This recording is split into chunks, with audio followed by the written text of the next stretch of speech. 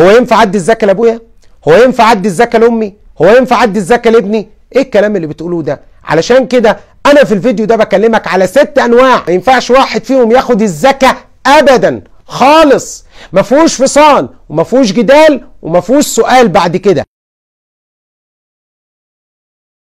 السلام عليكم ورب تكونوا بخير. الزكاة فرض على الأمة الإسلامية كلها. لمن ملك النصاب وحال عليه الحول. الزكاة ما فيهاش جدال ما ينفعش فيها كلام. سيدنا أبو بكر جهز الجيوش علشان يقاتل مانع الزكاة مع إن بعض الصحابة كان شايف إن ده مش وقت ولا أوانه علشان كثرة المعارك اللي فتحت على الدولة الإسلامية بعد موت سيدنا صلى الله عليه وسلم. لكن سيدنا أبو بكر رفض وأبى وصمم إن الجيش يخرج علشان يقاتل مانع الزكاة. وسيدنا الإمام الشيخ الغزالي رحمة الله عليه ورضي الله عنه كان يقول إذا رأيت فقيرا يمد يده في بلاد المسلمين فاعلم أن غنيا قد سرق زكاة ماله.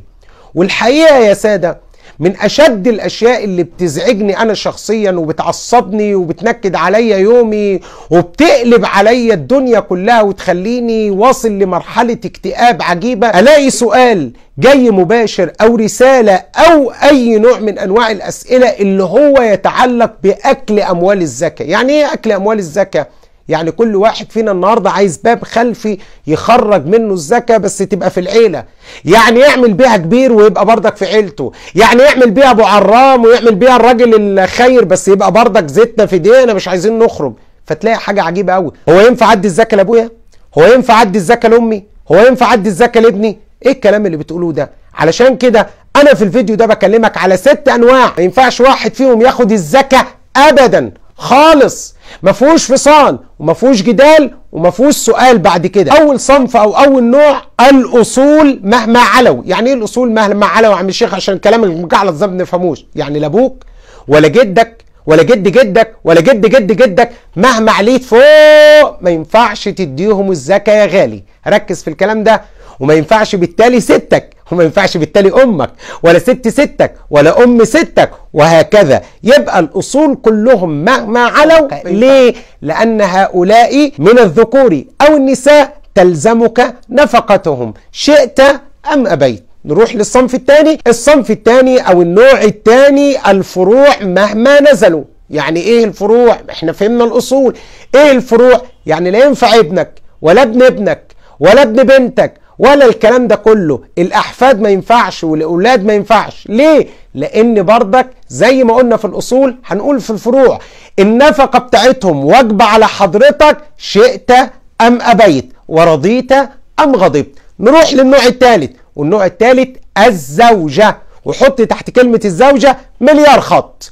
ليه؟ لأن الزوجة ينفع تدي من زكاة مالها لزوجها الفقير. آه ينفع.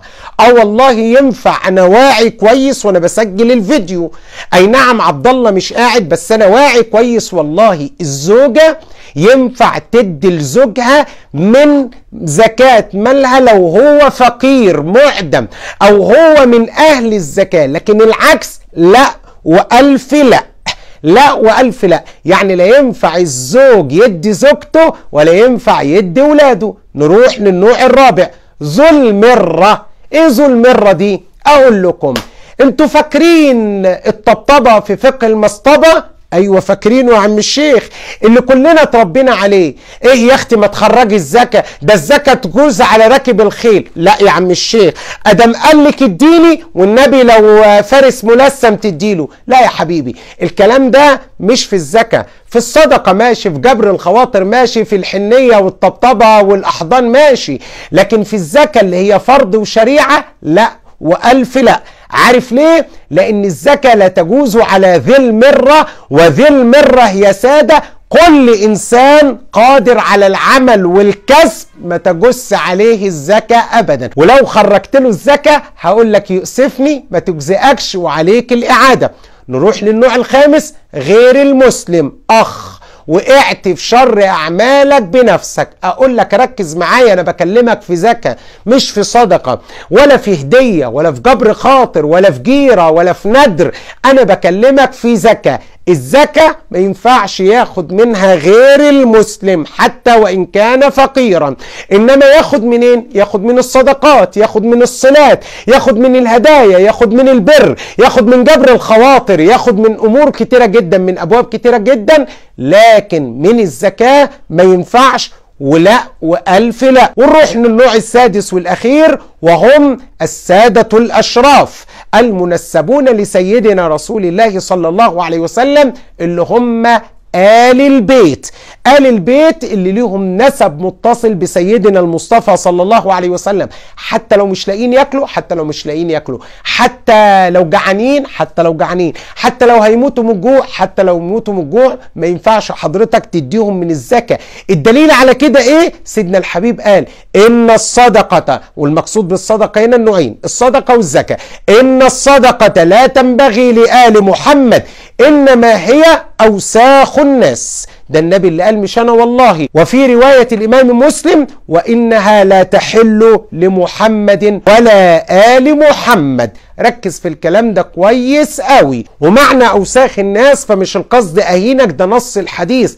إنما دي حقيقة يا حبيبي الصدقة ربنا لما قال عليها في القرآن قال وتطهرهم بها. يعني إيه تطهرهم؟ يعني تنظفهم وتنقيهم. وعلشان كده اوعى المقولة اللي عندنا السائدة أصل أنا بحب حاجة ربنا يا عم الشيخ. أصل بحب الصدقة. لا يا حبيبي لو أنت من أهل الورع تاكل من الهدية وما تاكلش من الصدقة. لكن على أي حال الست أنواع دول لا ينفع ملكي ولا شافعي ولا أبو حنيفة ولا أحمد ولا على أي مذهب من المذاهب تديهم الزكاة ابدا. افرض اديتهم أقول لك لا تجزئك ويلزمك الإعادة. وخلي بالك الزكاة فرض من فروض الإسلام ما فيهاش هزار. وخد بالك إن الزكاة اللي بتبخل بيها في الدنيا هتخرجها يوم القيامة. لكن شتان شتان لما تلاقيها كده في جهنم وربنا يقول لك انزل هاتها علشان تطلعها فانزل بقى وشوف هتمر كام درك وكام غلوة علشان تجيبها. ولو لم يأتي وعيد إلا آية سورة التوبة لكفى. اسمع ربنا قال إيه؟ يوم يحمى عليها في نار جهنم. فتكوى بها جباههم وجنوبهم وظهورهم. هذا ما كنزتم لأنفسكم فذوقوا فذوقوا ما كنتم تكنزون. أسأل الله العلي القدير أن يجعلنا من المؤدين لحقوقه إنه ولي ذلك ومولاه. وصل اللهم وسلم وبارك على نبي البركات وعلى آله وصحبه وسلم.